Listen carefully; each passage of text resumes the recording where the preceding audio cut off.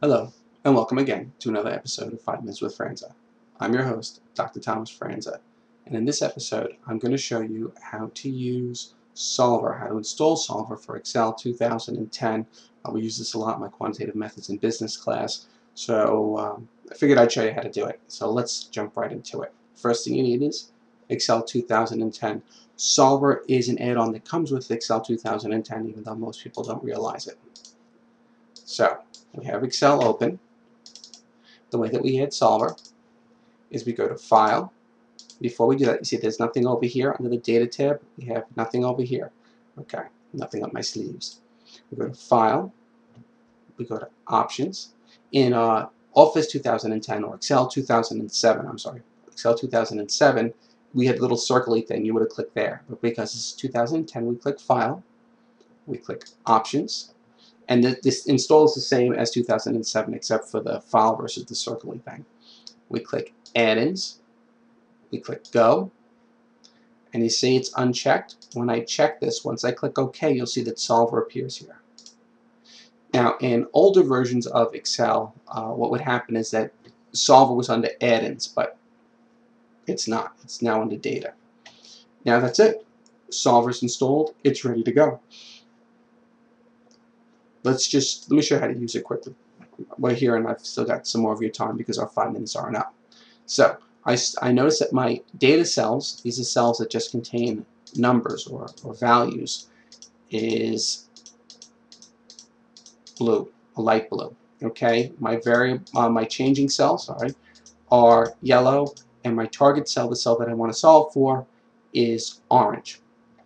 Okay, I also use these little sum product formulas, but you'll learn that if you take quantitative uh, methods in business. So let's use it. I click on my, my target cell.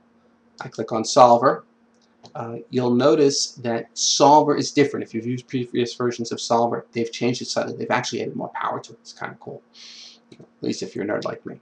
Alright, so I want my objective cell or my target cell is F13, total profit. I want it to be a maximum I want to change my changing cells, which are the ones in yellow, and I want a constraint. My constraint is that the hours I use must be less than or equal to the hours that are available to me because I can't use more than 16 hours in plant 1 if I only have 16 hours.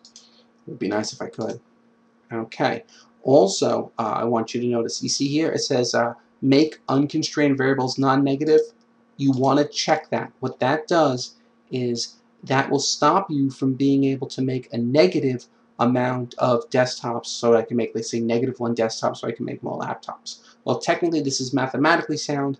It We can't do it. It's not practical. It's not for the real world. So make sure that that is checked off. Also, this is something else that we didn't have before.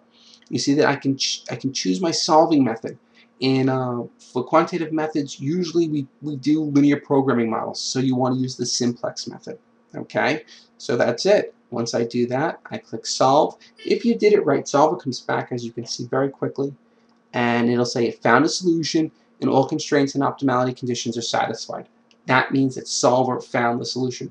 If Solver says it didn't find a solution, you might want to go back and just recheck, and maybe you wanted to solve for minimum profit you know, or some or maximum cost. So just check that out and then click OK. And as you see now it says we're going to make four desktops and three laptops for a total profit of $5,800.